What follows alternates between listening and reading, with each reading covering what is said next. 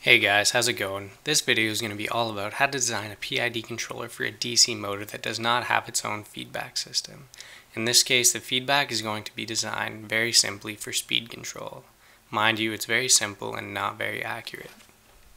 So let's start by taking a look at the circuit. This is a 12 volt battery, which is actually a very nice battery. 18 amp hour, 12 volt. Then we can keep going down into the circuit. We see the Arduino, which is basically the PID controller in this case. And we follow through by seeing a comparator, a MOSFET, then the PWM control from the Arduino and our custom box for the DC motor along with the speed control feedback there. Then if we look back behind the battery, you'll see an oscilloscope in the background and then all this is hooked up to my PC.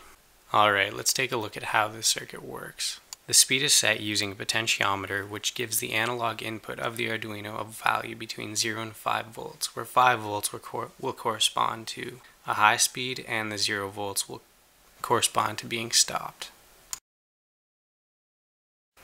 Here is the PWM speed circuit. As you can see it consists of it consists of an NPN transistor as well as a MOSFET which controls the speed of the motor through the Arduino's PWM. You can see here as I turn the potentiometer, the value of the PWM changes. And you can see this by how thin those bars are. Those bars indicate a PWM value.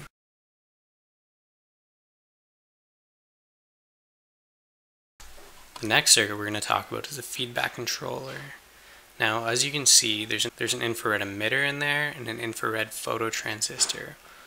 When the light beam between the two is blocked, the output will be high. When the light beam is not blocked, the output will be low.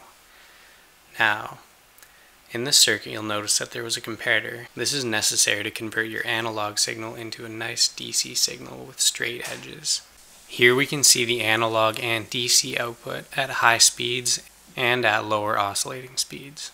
So, what do all these parts boil down to? They all come together to make a nice PID controller. So in our case, the PID controller is an Arduino.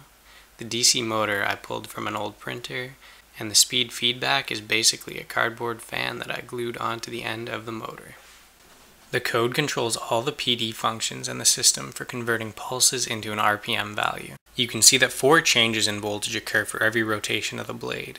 A counter in the program increments a variable for every change in voltage in periods of 100 milliseconds.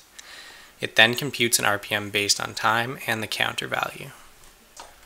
So just for your information, I'm going to be posting the Arduino code on GitHub when I have the chance. Hopefully it's up by the time you get to this video.